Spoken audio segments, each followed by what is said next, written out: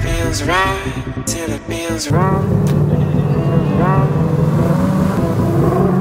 Feels right till it feels right. Feels right.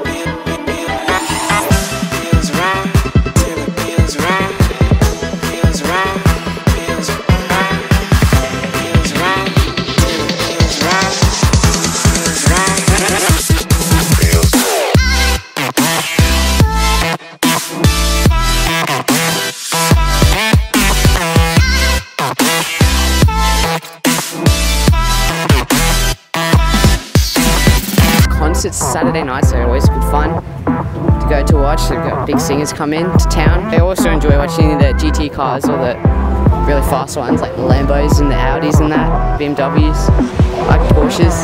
It's pretty cool getting to see all of our favourite drivers go really fast around the track.